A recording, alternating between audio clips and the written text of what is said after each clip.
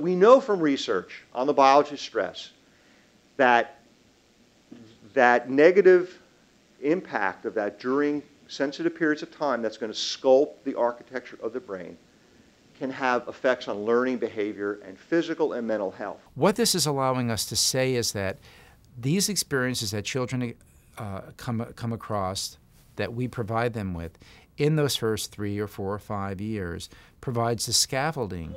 Doesn't guarantee a perfect life later on, but it, in a sense, is an insurance policy. Some experiences are more important early in life than later in life, and therefore it argues for investing in what happens in those first three to five years.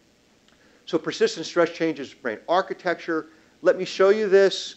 Um, we know that there are changes in the structure of the, of, the, of the nerve cell that's responsible for communication, for the ability of children to respond in, in their world.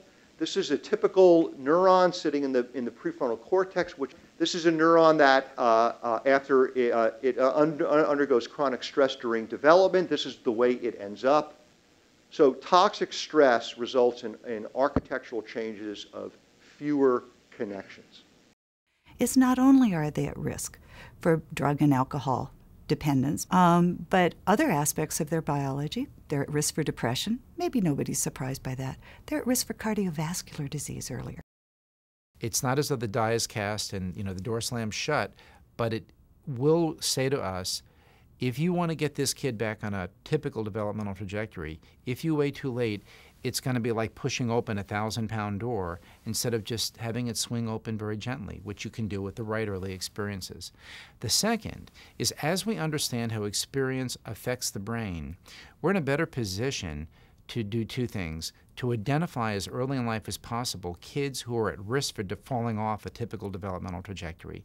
And the second is to develop interventions that target specific circuits in the brain. There's a critical period. There's a period of time during which this profound neglect that they've experienced, right, uh, requires an intervention and enrichment, um, and it has to happen within a certain period of time in order to, for it to have its most powerful effects. The most important ingredient in positive experiences for young children is the responsive adult or set of adults that are there in the child's life who are helping to let that brain be excited about learning and supporting that brain's development.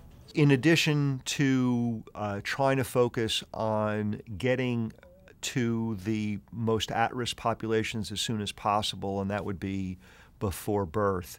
If I had to just focus on dealing with the situations after birth where you have an infant or you have a toddler, um, that developing uh, daycare systems where we um, rank them in terms of their quality, where we uh, provide the resources to encourage them to hire the very best staff. You can't do it on the cheap. That if we start with those systems and and generate a, a, a systems of excellence early, and apply those to the most at-risk uh, individuals, that's where we're going to get the biggest bang for the buck. And that if we then continue to be mindful of how experience writes on the brain, then we're much more likely to have children who wind up being successful, happy, productive citizens of society.